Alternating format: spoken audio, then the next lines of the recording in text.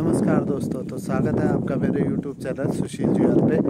तो दोस्तों, आज मैं गया था बैजरा और वहाँ से मैं गया आंगनबाड़ी बच्चों का सामान लेने। तो मैं आज के ब्लॉग में आपको दिखाऊँगा मटेला गाँव और जो आंगनबाड़ी है तो बने रहिए मेरे साथ।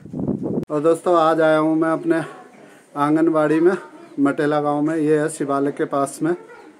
तो अभी मैं ले चलता हूँ। आज बच्चों को मिल रही है यहाँ पे राशन। अब हम पहुँच गए यहाँ पे देखो। हमारी आशा बहनें भी हैं यहाँ पे। और आज हो रही है राशन बटाई। ये देखो। ये बच्चे हैं सारे। क्या बट रहा है आज? अच्छा पहले अपना नाम बता दीजिए। मैं रानी नेगी। अच्छा ग्राम ग्राम अच्छा ये आशा बहनें हैं हमारी बहुत मेहनत करती हैं। और ये भाभी जी ये तो हमारी भाभी जी है। अपना ज़रा इंट्रोडक्शन दे दीजिए। मेरा नाम लीलावती देवी है मैं ग्राम सभा मटेरा से आशा कार्य करती हूँ। आज हम यहाँ बच्चों को राशन वितरित कर रहे हैं। जैसे नमक है आटा है भट्ट सोयाबीन भट्ट है ये चने हैं ये मतलब पाँच साल से छोटे बच्चों को मिल रहा हाँ। है जो। भी ग्राम सभा में हमारे ग्राम सभा में है। हाँ हाँ। और ये है। अपना। ग्राम सभा मटेले की सहायिका हूँ आंगनबाड़ी की मटेले में आंगनबाड़ी की आइए सहायिका हूँ। आइए हमारे गाँव के छोटे छोटे बच्चे हैं। हाँ, हम यहाँ पे बच्चों को थोड़ा बहुत सिखाते हैं। और यहाँ पे देखो पूरा कोरोना का प्रोटेक्शन भी हो रहा है मतलब मास्क के साथ है सब लोग। अभी हम बच्चों का वज़न भी लेंगे बच्चों की लंबाई भी लेंगे। वेट वगैरह सब कुछ करते हैं ना? हाँ जी हाँ हो आजा ये देखो।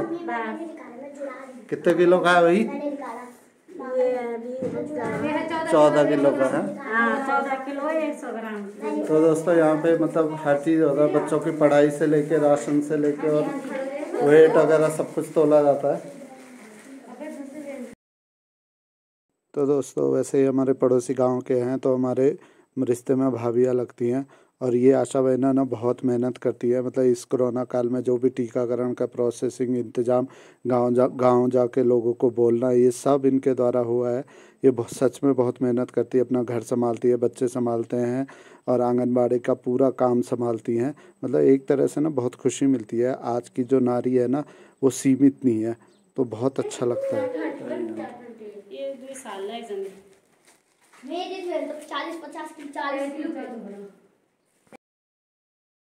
तो दोस्तों दूसरा मैं दिखाता हूँ। एक और सशक्त नारी। ये देखो ये मटेला गाँव की हैं। भाभी तूफ़ान भाई की वाइफ हैं। तो ये देखो ये खुद हल लगा रही हैं और बहुत मेहनत करती है। मतलब मटेला गाँव में जो नारी है ना वो बहुत सशक्त नारी है। तो दोस्तों अभी मैं आ रहा हूँ बैजरों से और अगेन फिर आप लोग कहोगे कि रोज़ रोज़ ये रोड के बारे में बोल रहे हैं। बट देखो दोस्तों कैसे सामान ढो के लाना पड़ रहा है और बहुत ही ज़्यादा मुश्किलें होती हैं यहाँ पे। तभी तो मैं रोज़ कहता हूँ, यार, ईड़ा, सिमखोली, मटेला, नर्रा, बांसी, ये सब लोग बहुत परेशान हैं बिना रोड के। ये देखो, सब लोग बहुत परेशान हैं यहाँ। मतलब एक बार गाँव में पहुँच जाते हैं तो उसके बाद बोलता है कि भाई, बैज रोज़ाना ना होए चढ़ाई की वजह से। तो दोस्तों, यहाँ से हो गया मटेला गाँव शुरू। ये है अनिल चाचा की छन्नी। अभी आज भी भैंस अंदर बंधी हुई है। ना उकाल, ना उंदार। अरे यहाँ तो उकाल बहुत है भाई, उंदार तो नीचे था, आते टाइम होगा। तो दोस्तों, ये हम पहुँच गए हैं ग्राम मटेला मल्ला। आपका हार्दिक अभिनंदन करता है मटेला के गेट पे। ये देखिए। ये मटेला गाँव के दर्शन करिए, बहुत ही अच्छा गाँव है। ये आगे जसवंत का घर आ गया सीधा, और यहाँ पे एक दादी थी। वो दादी अभी मुझे लग रहा है दिल्ली में है, बहुत अच्छी थी हमें बहुत याद आती है उनकी। और ये देखिए, मटेला गाँव के घर, बहुत प्यारे घर हैं। और यहाँ देखिए नीचे मस्त सीन है ये देखो। ये है दर्शनु भाई का घर। ये दर्शनु भाई के घर में पहुँच गया अभी घर पे कोई नहीं है शायद। अब आगे। ये जसली दादी का घर है। कभी दादी की भी बहुत याद आती है। और ये दिलीप भाई का घर है। और ये देखिए, नीचे अरविंद भाई का घर। और ये मटेले गाँव की खूबसूरती देखिए पेड़ पौधे यहाँ पे हमारे गाँव के मतलब मेरे साथ में जो आई है, वो पानी पी रहे हैं अभी। तो दोस्तों, अब देखिए मटेला गाँव का सबसे खूबसूरत घर, इसे बोलते हैं तिवारी। ये पुराने ज़माने में बनी है, बट यहाँ पे इसे रिनोवेशन करके एक अच्छा सा लुक दिया है और वही बहुत ही प्यारा लगता है। मतलब मटेला गाँव की खूबसूरती पे चार चाँद लगाता है ये वाला घर। और ये वाला घर है, वो विनोद दादाजी का घर है। बहुत प्यारा घर है और यहाँ पे हमें वो, उन्हें की भी बहुत याद आती है। देखिए, तिवारी की खूबसूरती देखिए भाई साहब, बहुत गजब।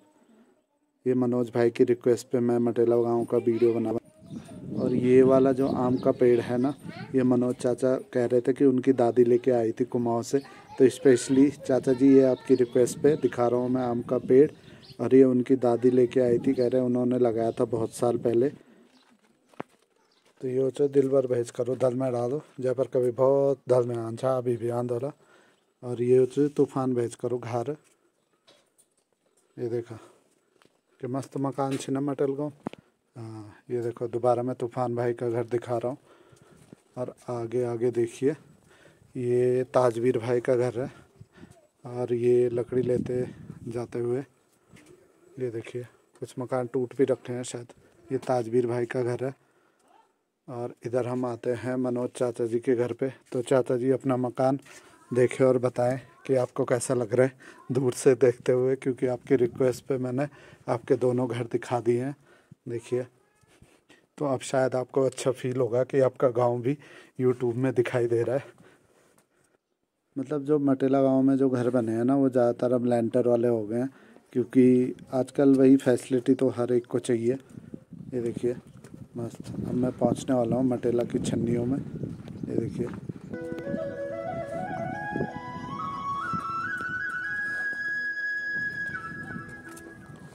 नमस्कार।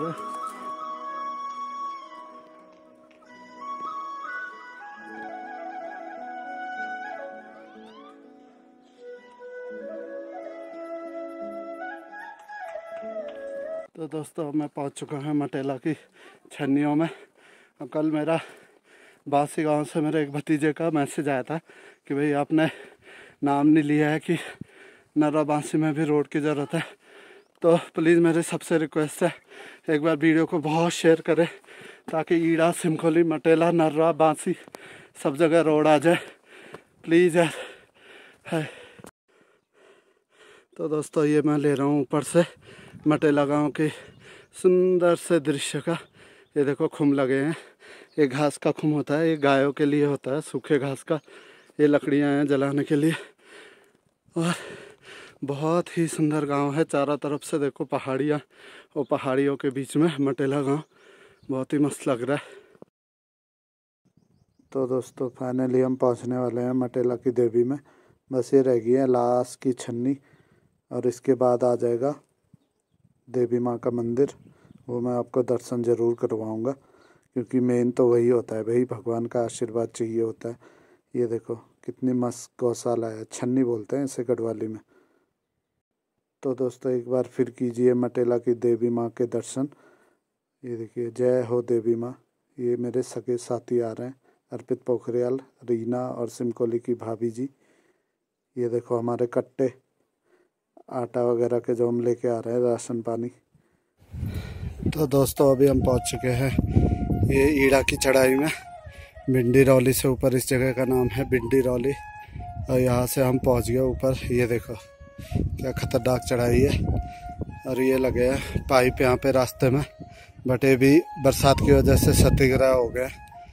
बहुत ज़बरदस्त चढ़ाई भाई साहब ये देखो, महिलाएँ पहुँच गई है ऊपर। यहाँ से देखो आप। ओ, सामने वाला बैजरो है, सबसे लास्ट में जो आपको दिखाई दे रहा है, वहाँ से हम मटेला आए। मटेला से ये घनकुले घनकुले से बिंडी रौली अब जा रहे हैं सीधे घर।